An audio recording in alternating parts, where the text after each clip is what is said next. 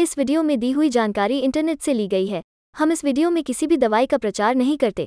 किसी भी दवाई को इस्तेमाल करने से पहले एक बार डॉक्टर से ज़रूर सलाह लें। अगर आप इस वीडियो को देखकर किसी दवा का उपयोग करते हैं और आपको कोई साइड इफ़ेक्ट होता है तो उसमें हमारी कोई ज़िम्मेदारी नहीं होगी। एलसी चालीस टेबलेट का इस्तेमाल उच्च ब्लड प्रेशर और हॉट फेल का इलाज करने के लिए किया जाता है। ब्लड प्रेशर को कम करने से भविष्य में होने वाले दिल के दौरे और स्ट्रोक को रोकने में भी मदद मिलती है। यह डायबिटीज़ के मरीजों में किडनी फ़ंक्शन को भी सही रखने में असरकारक साबित होती है। टेल्जी 40 टैबलेट को अकेले या अन्य दवाओं के साथ कॉम्बिनेशन में दिया जा सकता है। इसका सेवन खाने के साथ या भूखे पेट, दिन या रात में कर सकते हैं। हालाँकि, बेहतर लाभ के लिए इसका सेवन रोज एक निर्धारित समय पर ही करना चाहिए। स्वस्थ महसूस करने या ब्लड प्रेशर पर नियंत्रण पाने के बाद भी इस दवा का नियमित रूप से सेवन करना ज़रूरी है। हाई ब्लड प्रेशर वाले अधिकांश मरीज़ अपने आप को बीमार महसूस नहीं करते हैं, लेकिन अगर आप दवा का सेवन करना बंद कर देते हैं तो लक्षण और बिगड़ सकते हैं।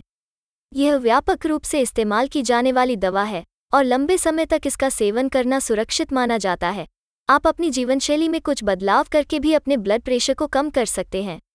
आप नियमित रूप से एक्सरसाइज करके, वज़न कम करके धूमपान बंद करके, शराब के सेवन में कमी करके और अपने डॉक्टर की सलाह के अनुसार खाने में नमक की मात्रा को कम करके ब्लड प्रेशर पर नियंत्रण पा सकते हैं। अधिकांश मरीज़ इस दवा को अच्छी तरह सहन कर लेते हैं और इससे बहुत कम साइड इफ़ेक्ट होता है। हालाँकि, कुछ लोगों को ऊपरी श्वसन मार्ग में संक्रमण, पीठ दर्द साइनस और दस्त की समस्या हो सकती है। अगर आपको इनमें से कोई भी साइड इफ़ेक्ट नज़र आते हैं तो इस बारे में अपने डॉक्टर को बताएँ। अगर आपको किडनी या लिवर से संबंधित कोई बीमारी है तो इस दवा का सेवन करने से पहले डॉक्टर की सलाह लें। गर्भवती महिलाओं और स्तनपान कराने वाली माताओं को भी इसका सेवन करने से पहले डॉक्टर की सलाह लेनी चाहिए।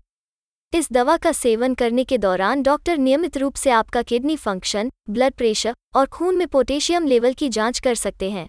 वीडियो को पूरा देखने के लिए धन्यवाद।